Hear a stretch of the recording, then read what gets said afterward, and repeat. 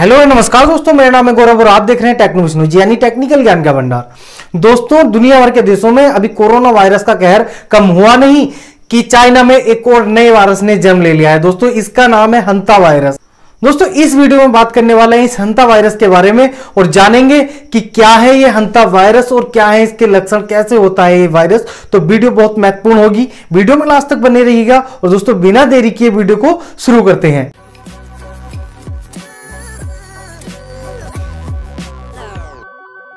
दोस्तों, जिस तरह कोरोना वायरस चाइना के वुहान शहर से आया है, उसी तरह हंता वायरस चाइना के यूनान शहर में पाया गया है। दोस्तों, इस हंता वायरस का पहला केस 23 मार्च को देखने के लिए मिला, जिसकी कुछ ही घंटों में मौत हो गई।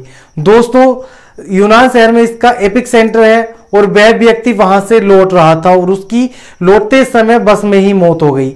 जिस बस में वह मौजूद था, उस बस में उसके अलावा लगभग बत्तीस लोग और भी मौजूद थे, जिनका सैंपल टेस्ट चेकअप के लिए भेज दिया गया है, लेकिन अभी उनकी कोई भी रिपोर्ट नहीं आई है। दोस्तों, आपको इस हंता वायरस से डरने की ज़्यादा ज़रूरत नहीं है। क्यों ज़रूरत नहीं है, ये मैं वीडियो में आपको आगे बताऊँगा। तो वीडियो में अंत तक बने रहिएगा। दोस्तों सीडीसी की रिपोर्ट के अनुसार यह वायरस चूहों से फैलता है एवं उनके मलमूत्र और लार से फैलता है। यदि कोई व्यक्ति उनको छूने के बाद अपना हाथ, अपने मुँह, नाक, कान पर लगा लेता है तो यह वायरस उसके शरीर में चला जाता है। दोस्तों, इस वायरस के संक्रमण का पता लगने में एक सप्ताह से आठ सप्ताह तक का समय लग सकता है।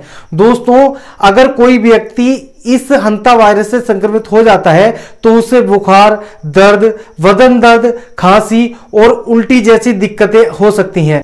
दोस्तों, हंता वायरस से संक्रमित होने पर फेफड़ों में पानी भरने और सांस लेने में तकलीफ़ जैसी दिक्कतें हो सकती हैं। दोस्तों सीडीसी के मुताबिक अभी तक इस वायरस की कोई भी स्पेसिफिक दवाई नहीं बनी है।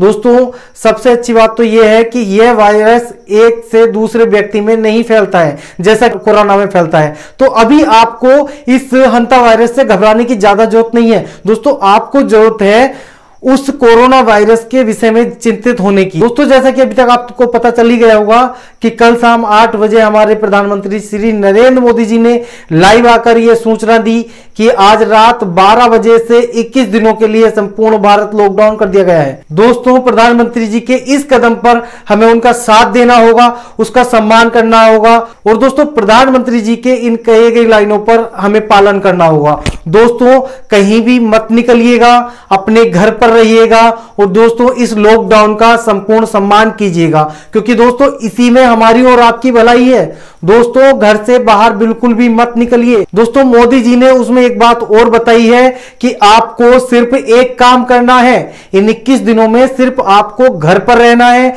घर पर रहना है और सिर्फ़ घर पर रहना है। दोस्तों, घर पर रहकर हम अपने घर, परिवार, अपने गाँव, अपना देश सब कुछ बचा सकते हैं। तो दोस्तों स्टे होम सेव लाइफ दोस्तों मैं मिलता हूँ आपको किसी नई वीडियो के साथ।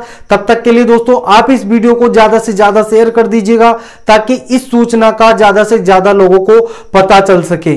दोस्तों, फिर मिलता हूँ नई वीडियो में। तब तक के लिए जय हिंद बंदे मातरम।